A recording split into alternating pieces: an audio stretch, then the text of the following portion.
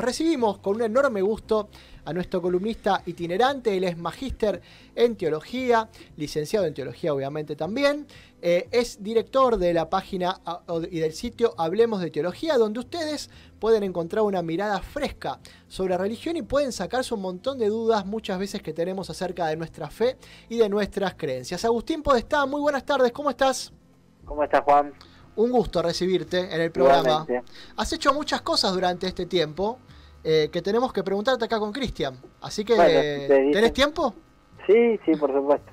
Sin duda. Bueno, una de las cosas, eh, Cristian, eh, Agustín, que te queríamos preguntar, es que has estado haciendo un video en Spotify muy interesante, hablando un poquito sobre la masculinidad, ¿no?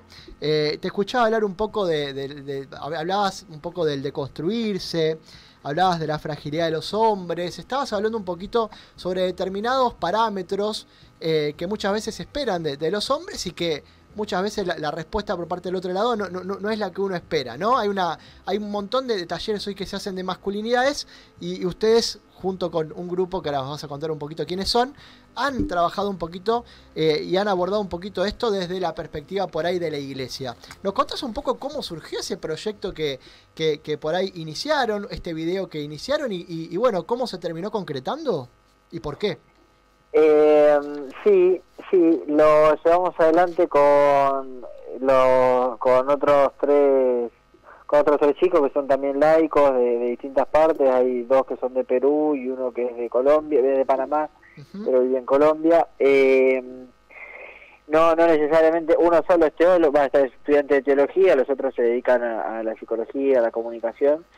Y, em, y, bueno, un poco lo que surgió es esta, este planteo, ¿no? De, cómo de cómo nos eh, muchas veces nuestro imaginario de qué es lo que implica ser un, un varón eh, choca contra el imaginario que, que nos impone la sociedad este cambio que se está viviendo, que muchas veces se mal dice ideología de género, ¿no? Eh, mal se le dice ideología de género, porque el planteo de género justamente lo que hace es eh, reconocernos a cada uno en nuestras, en nuestras identidades, en qué, y sobre todo qué se espera de nosotros, o sea, qué espera la sociedad de cada uno, ¿no? ¿Qué espera la sociedad que desempeñemos determinados roles de género? Y un poco lo que conversábamos ahí, los cuatro como varones jóvenes, veíamos que muchas veces estos roles de género que la sociedad espera para un varón chocan con aquello que nosotros vivimos como cristianos. Eh, más bien al revés, parecería que si vemos a Jesús y vemos el modelo de tantos santos en la historia, eh, más bien los roles o las, o las actitudes que se esperan de un varón cristiano van en contra de lo que hoy se espera que cumpla en, en términos del feminismo sería el macho, ¿no? Eh, el, machismo es totalmente anticristiano. Eh, de modo tal que, eh, bueno, justamente a raíz de los planteos del feminismo, de los planteos en temas de género, es que se nos planteó esto, es decir, bueno, ¿cómo recepcionamos esto? ¿no? Que estaba muy trabajado ya en teología hace muchos años que esto se viene trabajando, eh, que es hacerlo compatibilizar ni más ni menos que con el Evangelio y ver que en realidad lo que Jesús nos propone es un modelo totalmente antipatriarcal, ¿no? el modelo de la masculinidad de Jesús. Eh, lamentablemente muchas veces se la ha utilizado ¿no? y se ha utilizado la imagen de, Jesús para o, o, el cristianismo para justificar el machismo. Bueno, eso no tiene lugar. Eh, por lo menos desde un planteo de, fe, ese tipo de estructuras no tienen lugar. Bueno, me fui un poco para la teoría, ah, ah. pero respondo al, planteo, a la pregunta. Eh, bueno, un poco lo que surgió fue esa inquietud, ¿no? De que nosotros nos encontrábamos que por ahí la sociedad espera algo que nosotros la verdad es que no tenemos ganas de, implementar, que al contrario, que desde nuestra fe pareciera que no, no va por ese lado. Entonces, bueno, un poco lo que charlamos ahí como off the record fue un poco esta inquietud y dijimos, che, esta misma conversación grabémosla, que a alguien le puede servir. Así que bueno, la, armamos como, como, como oficial y la, la, grabamos. Agustín, en, estos tiempos presentes, eh, la palabra género y la palabra iglesia se perciben como contradictorias, ¿no? O parecen percibirse de ese modo. Parecen dos campos enemigos, ¿no? Dos palabras que no pueden compatibilizar, ni articularse, ni, ni, imaginarse siquiera que, pueden estar juntas, ¿no? Trabajándose eh, de manera por ahí mancomunada. Y hace unos días te escuchaba en una nota que, que, estabas haciendo tu doctorado, eh, trabajando cuestiones de género, y casualmente recomendabas un libro que era Jesús el varón, aproximación bíblica a su masculinidad, de Hugo Cáceres Guinet, ¿no? Para ponernos un poquito en sintonía y ya abordando el tema de género, me gustaría que me cuentes cómo era el contexto en el que vivía Jesús en el siglo I con respecto a las temáticas de género que por hoy hoy conocemos, ¿no? ¿Cuál era el rol del varón y de la mujer dentro de esa sociedad en el siglo I? Bueno, recomiendo el libro eh, ampliamente. La verdad es que es una joyita, es de fácil lectura, es, eh, no es muy extenso. Realmente lo recomiendo porque es una joyita. Eh, respondiendo a la, pregunta, bueno, el, el siglo primero, la, la fe del, del, judaísmo que Jesús hereda, eh, que va en sintonía con los pueblos del Mediterráneo de la época, es una sociedad fuertemente patriarcal, ¿no? Estamental la mujer está enumerada en varias veces en el Antiguo Testamento como una propiedad del varón. Eh, es decir, por eso eh, vieron este texto que muchas veces lo leemos de forma eh, espiritual, ¿no? aquí tienes a tu madre cuando Jesús le dice al discípulo amado, ¿no? en realidad lo que está haciendo es garantizarle a María un sustento económico, porque María, eso indica que María era viuda y que se quedaba sin el único hijo varón, por lo tanto María pasaría a estar en la calle, porque no tiene eh, autorización para tener bienes, ¿no? Lo que está haciendo es garantizando la estabilidad económica de María, el sustento, ¿no? La casa, eh, al que la reciba otro varón, ¿no? Como es el discípulo amado. Eh, no, dice el, desde entonces la recibió en su casa, no es que se juntaron a tomar el té cada tanto, es que María fue a vivir en la casa del discípulo amado, ¿no? Eh, o al menos el discípulo amado se hace cargo de la mujer. ¿Por qué? Porque la mujer era eh, considerada, un, como decía recién, un elemento más del varón. Y lo que se esperaba justamente es que el varón reproduzca el, de forma estamentaria la sociedad como estaba planteada que es el varón, padre de familia, criando a sus hijos. A los, por otra parte, también los niños entran en esta dinámica. El texto tiene eh, unas intuiciones muy buenas sobre el tema de, los niños, ¿no? Porque eh, más bien al niño había que castigarlo, ¿no? Y castigarlo con, dureza, ¿no? Sobre todo cuando era niño, porque se lo consideraba rebelde, rebelde ¿no? Al adolescente había que, que castigarlo, inclusive eh, no era considerado persona, ¿no? ¿no? Porque no se no podía hablar públicamente el varón, el niño, ¿no? Varón o mujer, pero siendo niño. Eh, por eso Jesús dice, cuando pone al niño en el medio y dice, no que hay que ser como un niño para entrar, para entrar al reino de los cielos, eh, está siendo totalmente eh, rebelde, en lo que Jesús está planteando, ¿no? Porque Jesús está planteando al niño que no tenía voz, que no podía hablar públicamente, que había que castigarlo y decirle, quiere entrar al reino, tiene que ser como él. Se, se ponen en, en lugar siempre de los parias, ¿no? De los excluidos. Lo mismo con la mujer. Con la mujer en todas las intervenciones que aparecen mujeres, Jesús discute temas religiosos. No es interesante, Jesús no discute los temas religiosos con los sacerdotes del templo. Jesús discute temas de religión con las mujeres que estaban excluidas del debate religioso en su época.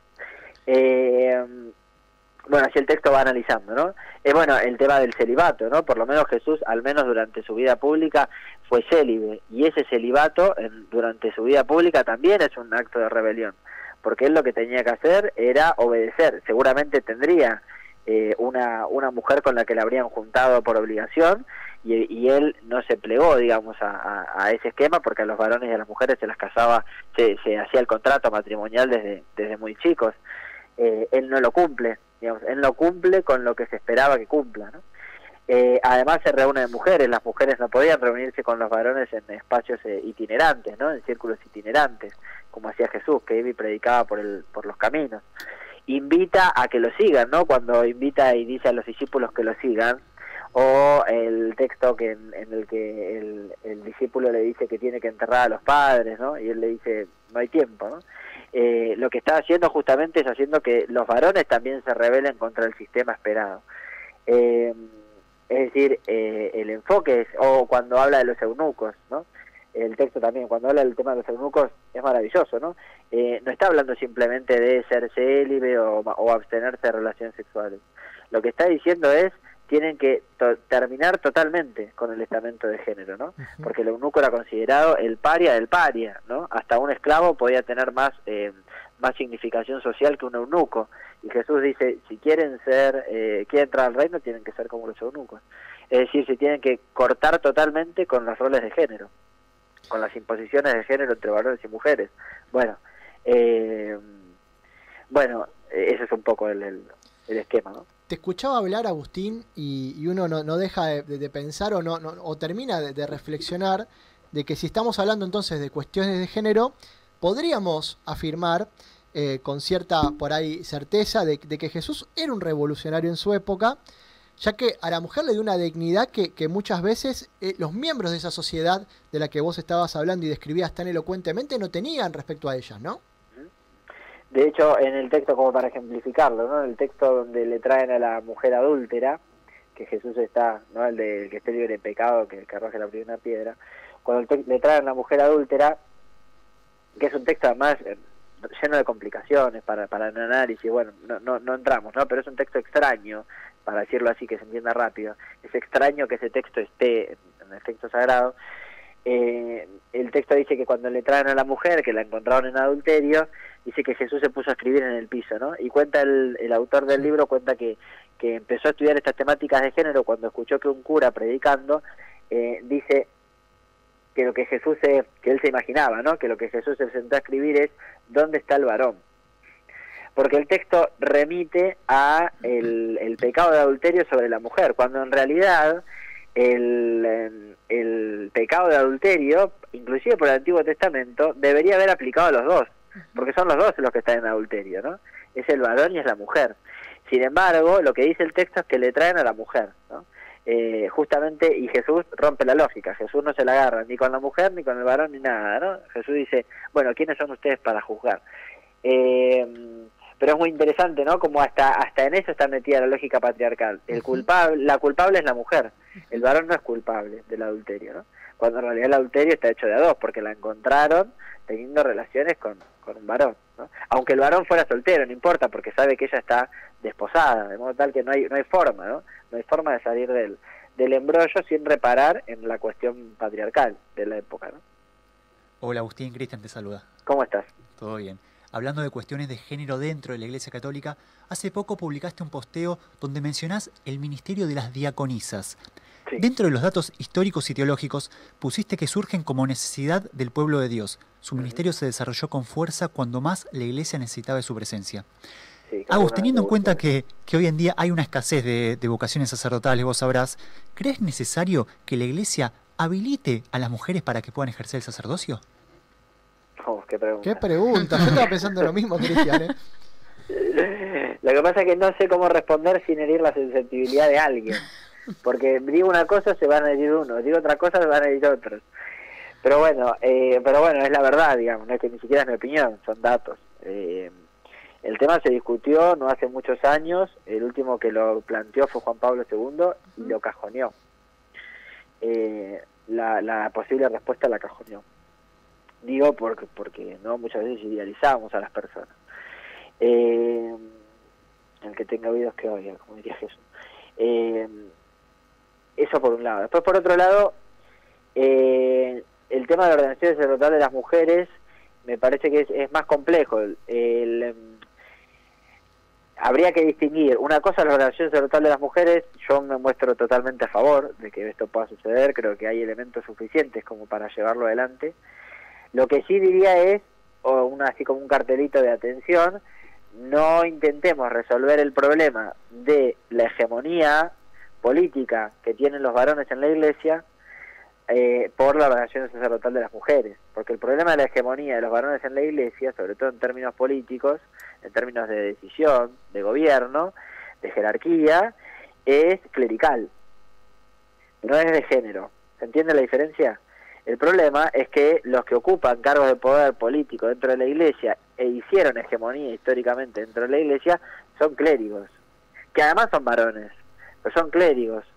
Digo porque el debate sobre muchas veces sobre la relación de las mujeres puede venir en un eh, anticlericalismo genuino y no en un antimachismo que son cosas distintas. Eh, quiero decir, digo en criollo, hay que pelear por la sacerdotal de las mujeres, cuente conmigo, yo voy, vamos, vamos para adelante. Pero cuando se apruebe y vuelvo a casa, igual el problema no se resolvió.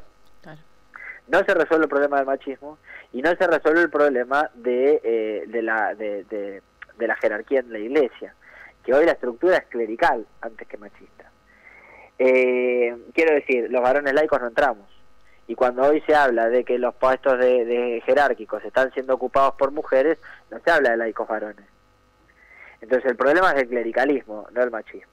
¿Se ve la diferencia?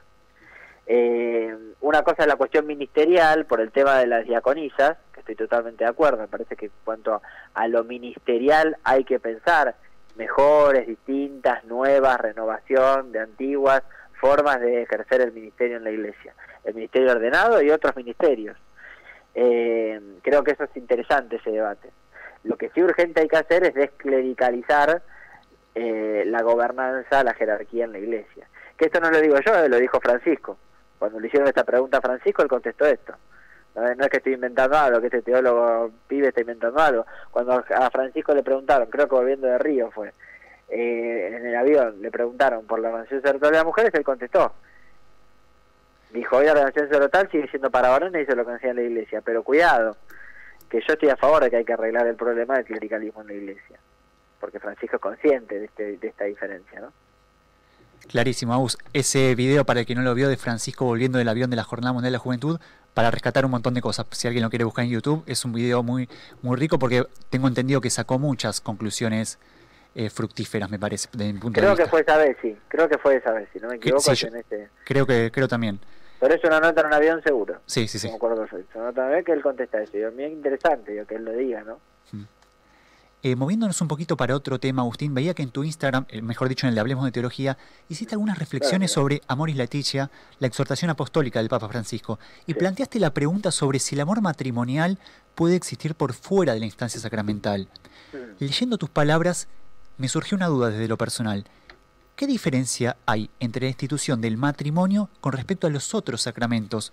Porque siguiendo ese criterio, Agus, por ejemplo, alguien que, que conoció a Dios de grande sin estar bautizado, podría plantear que ya no necesita recibir el sacramento de bautismo para sentirse hijo de Dios. ¿Se entiende?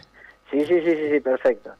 Eh, bueno, y de hecho hay otros sacramentos eh, que puede recibirse la misma gracia sacramental sin la necesidad del paso por el sacramento institucional. Eh, eso, por ejemplo, fue lo del año pasado, el artículo que había escrito sobre el sacramento de deseo, eh, e-, es ese planteo. Por el bautismo pasa, por ejemplo, ¿no? O sea, la, iglesia, hoy porque ya no son estos tiempos, pero la iglesia de sus orígenes que reconoce, por ejemplo, la posibilidad de que haya bautismos sin necesidad de pasar por el bautismo de agua. Por ejemplo, lo que se llamó el bautismo de fuego para los mártires, que morían eh, primero mártires antes de recibir el bautismo, porque la iglesia tenía prohibida la, la en los primeros siglos eh, celebrar públicamente el culto y qué pasaba a los catecúmenos cuando se estaban preparando para recibir el bautismo morían mártires eh, por el fuego eh, quemados vivos y pero se consideraba que igual habían recibido el bautismo se entiende sí, sí. por qué porque deseaban porque lo deseaban ardientemente lo deseaban con su corazón no lo que llama el, el bautismo de deseo. También los que mueren deseando el bautismo. Bueno ahí hay como varias como varias categorías eh, y en la iglesia también se lo aplicó en el, texto este, que está también en el Instagram, en el, link tree está para consultar el artículo sobre el sacramento de deseo. Eh, también analizo otros momentos, ¿no? Por ejemplo, con las reconciliaciones. Eh, por ejemplo, si hay un ejemplo concreto, ¿no? Que habla de que si en una expedición que iban a hacer un grupo de, de religiosos y de laicos que iban a hacer, no recuerdo a dónde, y el Papa les da autorización de que si el barco o la expedición fallece, eh, se, se, cae, se hunde, una cosa así era, eh, y se hunde en alta mar y no tienen sacerdote para reconciliación, si desean la reconciliación, la reconciliación es efectiva. Es decir, la gracia sacramental se confiere, independientemente del momento institucional, ¿no? del momento propiamente sacramental material. Lo que pasa es que del otro lado tenés la, eh, lo que se habla de la espiritual, ¿no? La, comunión espiritual. Bueno, que a mí es algo que no me gusta, porque me parece que no corresponde hablar de espiritual, ¿no? Porque parece que de forma dualista ponemos material espiritual. Y el sacramento nunca es espiritual, siempre es material. Lo que en todo caso nos tenemos que plantear es cómo nos paramos nosotros frente al sacramento. Y ahí está el deseo, ¿no? Es decir, si yo deseo vivir esta vida o no, deseo vivir la gracia sacramental que me confiere ese sacramento o no. Bueno, estamos seguros que la gracia se transmite por medio del sacramento, eso estamos seguros. Ahora, ¿quién puede afirmar fehacientemente que Dios no puede dar la gracia sacramental en otras instancias no institucionales? Bueno, algún conservador te dirá que, Dios no puede. Yo no, me animo a tanto, ¿no? A decir qué es lo que Dios puede y lo que no. Siguiendo con, tenemos un montón de temas para hablar, ¿no? Pero siguiendo un poco con el ping-pong que te estamos haciendo y te pido disculpas, pero hace mucho que no hablamos con vos. Eh, esta semana el Papa Francisco promulgaba una carta apostólica motu propio donde instituye un poco el ministerio del catequista, ¿no? Dándole cierto reconocimiento al rol que hoy ocupan una numerosa cantidad de laicos en, en las distintas parroquias. ¿Crees que este flamante ministerio eh, ¿Vino a cambiar algo en la práctica cotidiana? ¿Pensás que se va a exigir una preparación por ahí más profunda para ejercer el, ministerio de, el ministerio de catequista? Perdón. Eh, todavía, o sea, en el texto dice que sí, que recomienda, digamos, que los eh, que cada diócesis a los obispos les dice que, que, se encarguen de administrar, de reglamentar esta, esta disposición con formación. ¿No? Lo que más insisten con la formación de los catequistas. ¿Cuántas veces hemos escuchado que en una escuela, eh, inclusive como materia, en, clase, aunque sea extracurricular, no importa, sigue siendo una materia, aunque fuera extracurricular, da catequesis una señora de la parroquia, con todo el amor y, agradecimiento del mundo a la señora de la parroquia, pero que no tiene la formación suficiente. Eh, ¿Cuánto daño, realmente, cuánto daño hemos hecho los catequistas en la historia? Eh, por no tener ¿no? La, formación adecuada y hemos hecho mucho daño. Eh, bueno, también gente formada, pero tampoco sería tan ingenuo. Pero, pero bueno, sí, espero que sí. Agustín, siguiendo en este repaso de temas, por ahí ahora ya nos metemos en el terreno un poquito más caliente. Creo que el tema que genera más incertidumbre en la iglesia y fuera de ella es ¿Qué sucede después de la vida terrenal? La propia Santa Madre Teresa de Calcuta se refirió a la muerte como el misterio más grande, cuando le hicieron unas cuantas preguntas. Desde mi percepción, el Evangelio nos regala unas pinceladas sobre lo que es el cielo, el infierno, pero no termina de quedar en claro cómo serían, y mucho menos si en el medio aparece el purgatorio, del cual no sé si se habla en las Sagradas Escrituras. Por eso, desde tu amplia formación en el ámbito teológico, Aus, ¿qué podrías decirnos acerca del purgatorio? Bueno, Sí, de hecho ahí se armó medio debate en el posteo, saltaron los, biblistas, con razón, eh, porque eh, acá hay que distinguir, ¿no? Eh, como varias cosas, porque también me pasó que mucha gente católica inclusive se mostró como como como, como difícil a, encarar este tema. Bueno, primero estamos en el ámbito, hay que reconocer, digamos, ¿no? cuando hablamos del purgatorio, lo primero que estamos reconociendo es que es un dogma. Es decir, nos estamos moviendo en aquellas verdades que tenemos que creer. Eh, ahora, para responder, digamos, a la inquietud dogmática, primero, antes de entrar en la bíblica, eh, no pertenece a... También los católicos, que nunca nos han dicho, pero los católicos también creemos por jerarquía de verdades. Es decir, el purgatorio no está al mismo nivel de aquello que hay que creer que, que Dios nos ama y que Jesús es Dios y entregó su vida para salvar. Quiero decir, no es lo mismo. Entonces no es que creemos cualquier cosa y todo da igual, ¿no? Entonces eso primero, es decir, si nos cuesta, uno dice, a mí me cuesta creer, bueno, listo, dejarlo ahí, no, no, no. Eh, recordar eso, que no todo está al mismo nivel, ¿no? Eh, y segundo, eh, respecto a la cuestión bíblica, bueno, lo que lo que dice la, la, tradición bíblica es que no aparece el tema del purgatorio explícitamente, sino que hay indicios que nos llevan a pensar desde algunos textos bíblicos que hay una, que hay un momento de preparación entre el, la vida terrenal y la visión beatífica, ¿no? Que es ver cara a cara a Dios lo que podemos llamar comúnmente el cielo. Eh, ahora, yo un poco lo que invitaba a pensar en el, en el posteo es, primero, no olvidarnos que el cielo no es la otra vida. No, porque muchas veces usamos este lenguaje, esta vida es la otra vida. Por lo menos los cristianos creemos que el cielo empieza acá en la tierra, que ya desde el bautismo estamos viviendo el cielo. Ya desde el bautismo estamos viviendo la, la visión beatífica, ¿no? quizás no de modo pleno, quizás no de modo completo, pero ya lo estamos viviendo, ¿no? Los bautizados ya estamos en este en este proceso. Eh, ya estamos viviendo, ¿no? Pasaré mi cielo haciendo el bien en la tierra. Eh, es decir, ya hay una prefiguración del reino eh, completo, del reino de los cielos completo en, en el reino en el reino terrenal, por así decirlo. No, es que no se no se no se oponen, al contrario, más bien se prefiguran. Y después, por otro lado, en todo caso, entender el purgatorio, que sería como esa instancia intermedia, como una preparación, ¿no? No como el fuego que nos va a devorar, ¿no? Sino como una preparación, ¿no? Como quien se prepara para, para vivir, por ejemplo, una fiesta. Ya ahora, bueno, con la pandemia no tenemos, pero cuando antiguamente teníamos, ¿no? Un cumpleaños de 15, un casamiento, que unas horas antes nos bañamos, ¿no? Nos cambiamos, nos ponemos lindos, ¿no? Bueno, esta misma idea, ¿no? De hecho, el, ejemplo del baño es muy llamativo, ¿no? Porque el ejemplo del baño eh, es eh, quitar la mácula, ¿no? Quitar todo el, el, ¿cómo se llama? El lenguaje de la pureza, ¿no? Quitarnos la mancha, ¿no? Quitarnos la suciedad. Viene, son todas palabras que usamos y vienen todas de la misma raíz, que son las mismas raíces que se usan para el pecado, para la, para la idea de pecado. Eh, que tiene que ver con la suciedad, ¿no? Con la mugre. Bueno, eh, es lo mismo, ¿no? Es como si nos preparáramos para, para, es como si nos pusiéramos lindos para el, para, no para el casamiento, sino para la fiesta más importante que vamos a vivir, que es vernos cara a cara con Dios. Agustín, ¿de qué manera se pueden contactar con vos los oyentes que te están escuchando en este momento? Bueno, los espero en arroba hablemos de teología en Instagram y hablemos de teología.ar en Facebook.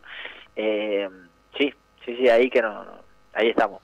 Cualquiera, cualquier duda o cualquier inquietud que por ahí les haya surgido en el marco de esta charla o por ahí alguna inquietud que, llevan también a cuestas, se la pueden preguntar a Agustín a través de esta cuenta. Hablemos de Teología, lo encuentran en Facebook y Hablemos de Teología también lo encuentran en Instagram. Un gusto, Agustín, buen fin de semana y esperemos que algún día puedas venir para acá. Esperemos que pronto se pueda. se calme un poco toda esta locura. Esperemos que se calme pronto. Buen fin de semana, un abrazo grande, igualmente pasaba Agustín Podestá, magíster en teología, director del sitio Hablemos de Teología.